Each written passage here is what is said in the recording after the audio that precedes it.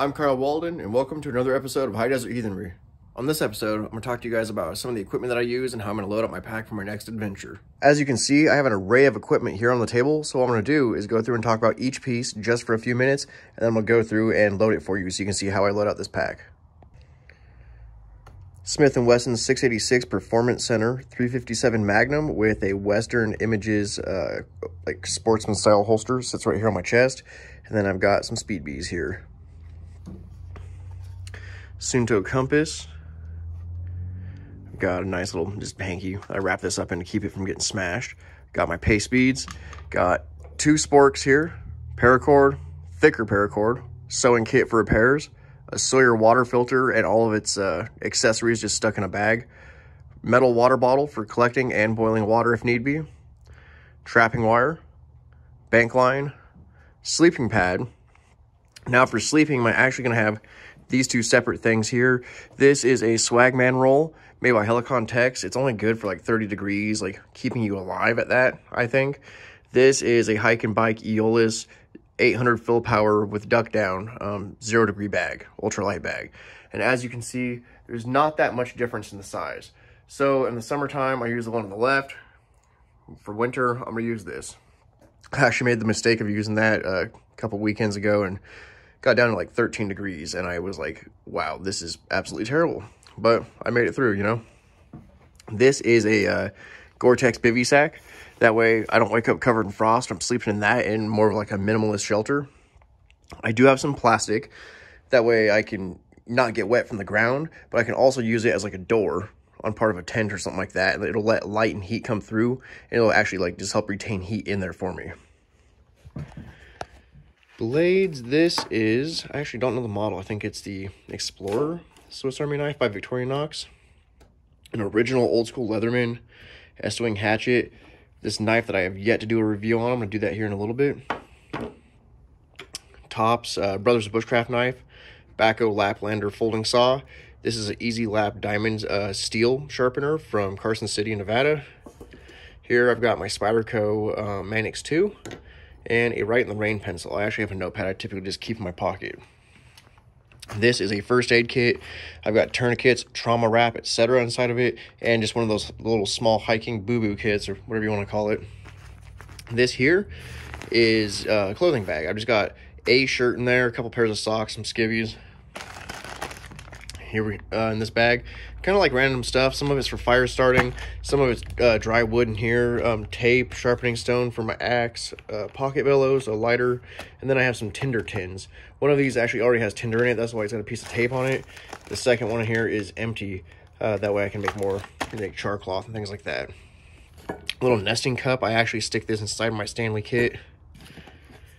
This here is just a Coleman Peak 1 burner. Pretty basic, pretty simple. It was like 20 bucks and uh, it's actually worked out really good. It sits right inside of here. This sits inside of my Stanley uh, like metal pot that I have and then just stick the lid on it, pack it away. This is a little head wrap for, you know, try not to uh, sweat in my sleeping bag too much. This is actually to go in here and keep that from rattling around because I get tired of hearing it do this as I'm hiking. Um, some more uh, fire starter. These are Vaseline soaked cotton balls because, like I said, it's winter. It's kind of damp here, and uh, sometimes things are hard to light. This is a little Pathfinder, uh, not Pathfinder, I shouldn't say, but Self-Reliance Outfitters uh, kit. It's got flint and steel. It's got a ferro rod. It's got a magnifying glass, and some of their Inferno fire starters, which is similar to this, really. This is an Arcturus emergency blanket tarp. One side of uh, this tarp is this green material. And then the other side is this chrome, like space blanket material, right? And they're actually really heavy duty. Maybe I'll do another review on this on its own. You can look them up. There's a million of you know reviews already. But this is really rugged. It's good for a ground cloth. That way you can lay on the chrome side and this side down, and then it'll reflect uh, body heat back up at you. Sorry about that. Also, you can use this as part of a shelter like a lean-to and things like that. Good to go. Got a pair of mechanics gloves here. Got my 100% uh, wool beanie watch cap, and then a 100% wool scarf. And I think that's it. So now let's look at how I'm going to pack it all in.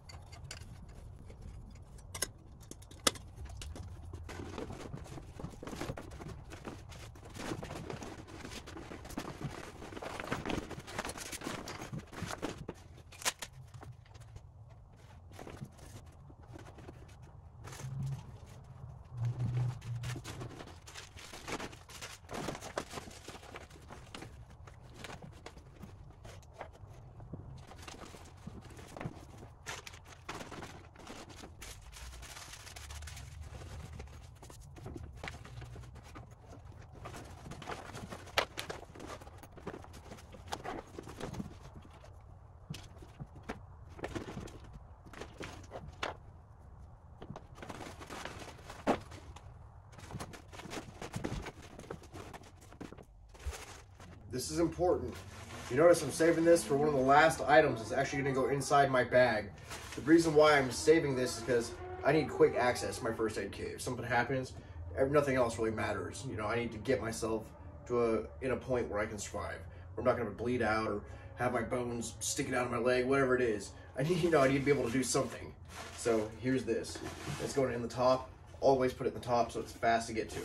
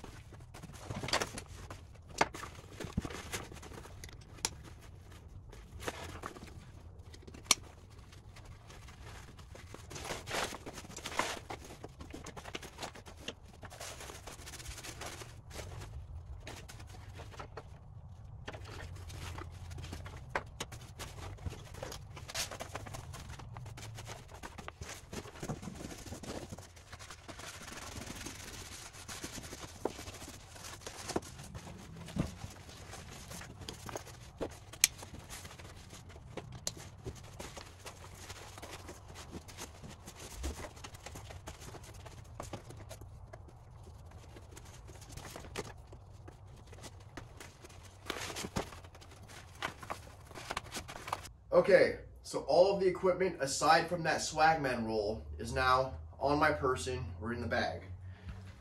Saw, all my cutting tools are on my right side. I leave the left side for my wallet.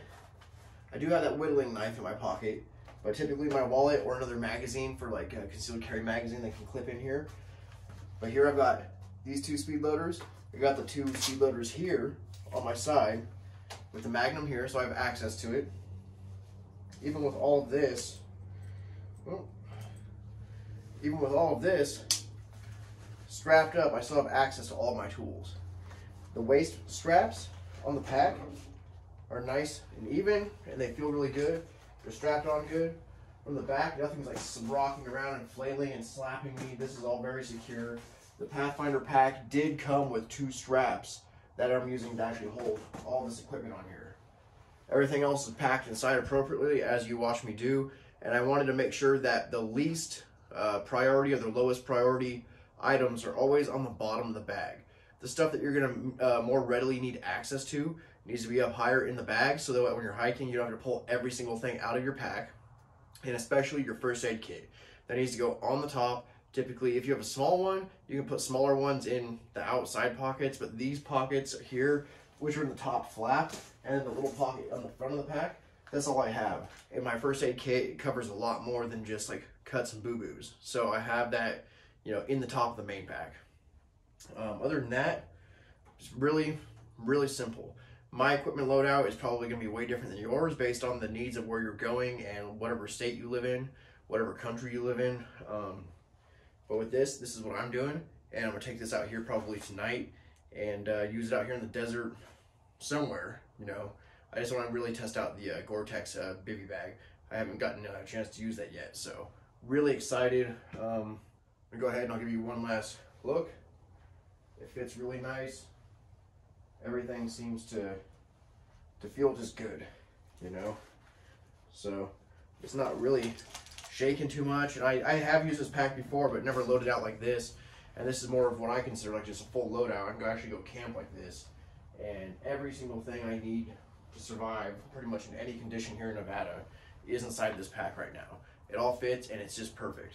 So go and check out the backpack. Again, this is the uh, Pathfinder Scout Pack by Self Reliance Outfitters. Check them out at selfrelianceoutfitters.com.